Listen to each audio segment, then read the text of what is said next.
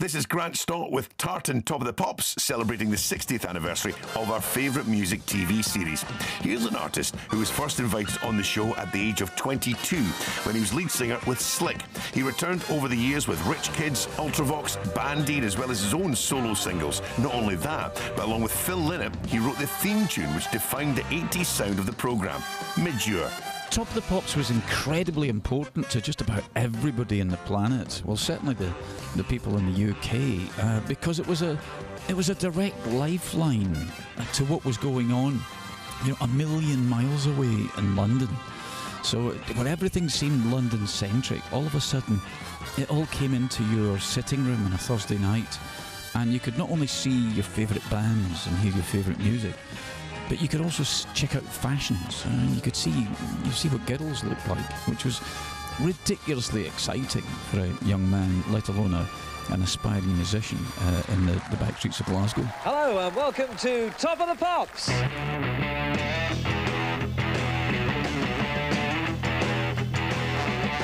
My first run in with Top of the Pops, with actually performing on it, was, if memory serves me well, 1975 and Top of the Pops had decided to give four new acts who were releasing uh, new music in 1976 the chance of going on, I think it was the New Year's Day uh, Top of the Pops, which was amazing because at that point, you know, some 15 million people, maybe even more, would tune in and watch uh, watch that program slightly hungover.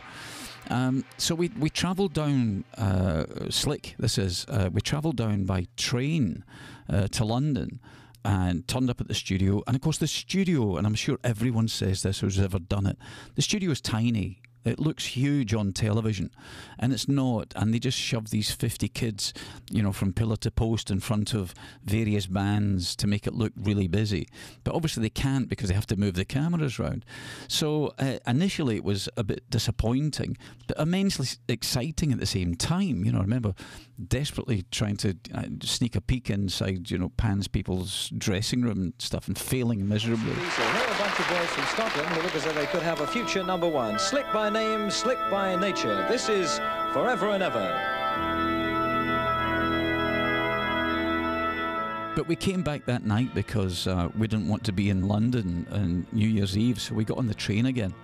And of course, the next day, we went out uh, to friends and parties and stuff uh, on New Year's Day, and everybody stopped us. Everyone knew who you were because they had seen you on top of the pops.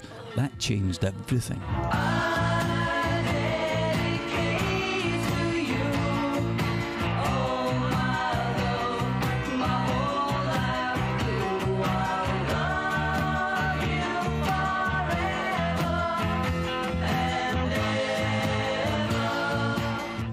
I was touring with Thin Lizzy. I had just finished an American tour uh, with them playing guitar while uh, while they were kind of trying to re- recover after Gary Moore uh, was you know gone from the band, and uh, and while they were looking for a permanent replacement guitar player, which I was never lined up to be. I, would already joined Ultravox, and my my heart was with Ultravox. Um, they asked me if I would jump on keyboards so they could do some other bits of touring while they tried out new guitar players. And of course, you know, while while you're doing sound checks and things, it's an it's an artist's thing to have a little jam. And we used to jam. Phil and I used to jam this little da da da da da.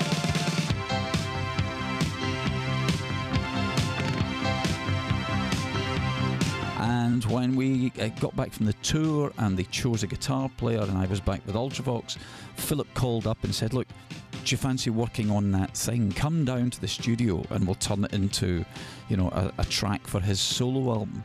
Um, so I, we did, uh, and I eventually had Billy Currie uh, from Ultravox come and bring his synthesizer and his sequencer, and hence that thing that happens in the, the top of the pops theme.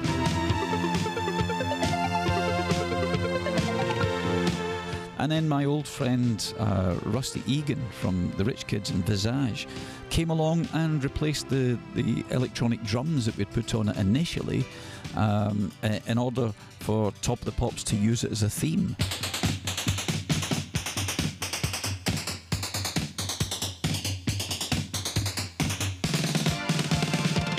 And it was just amazing because in those days, every time you were played on the radio, you could almost hear the cash register ringing in the background because they paid you such a, a huge amount of money. Not a massive amount, but a huge, a big amount of money for a, an aspiring, you know, struggling artist.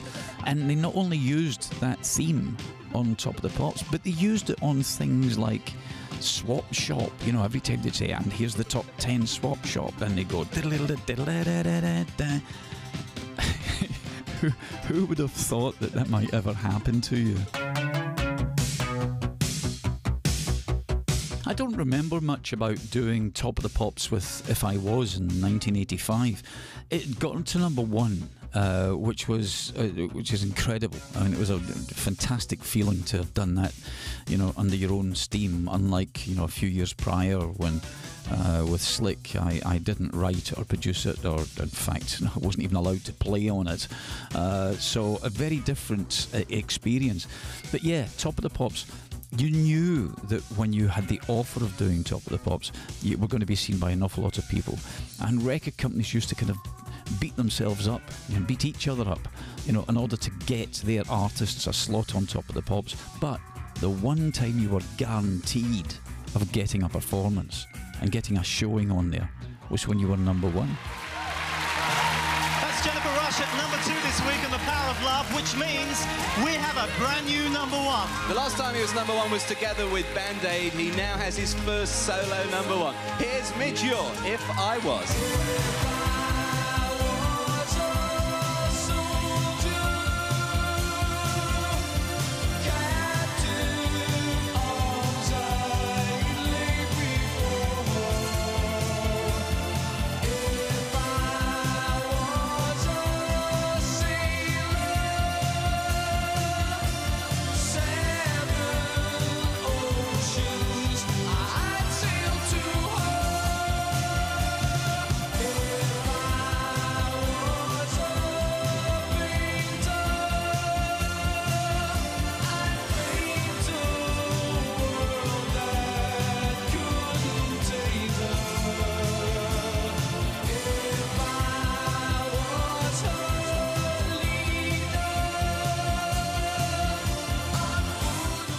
Three number one singles that Midge was part of, Forever and Ever with Slick in 1975, Band Aid's Do They Know It's Christmas, and that was his own chart topping solo hit, If I Was. It was fascinating to hear his memories of Top of the Pops and all about the making of Yellow Pearl, which became the programme's theme tune between 1981 and 1986. In fact, here's another royalty check coming your way, Midge. Some artists, like Midge, were lucky enough to appear on the programme with their first hit single, while others had to wait a bit longer to get the phone call. In the case of Simple Minds, it took five years and five